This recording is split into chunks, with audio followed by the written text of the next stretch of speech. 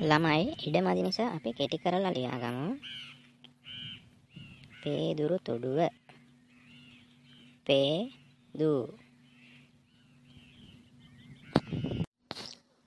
එතකොට ළමයි දෙවුන්දර තොඩුව දේ තු. එතකොට ටීචර් පුත්තලම කලපුව කියලා කොහොමද ලියාගන්නේ?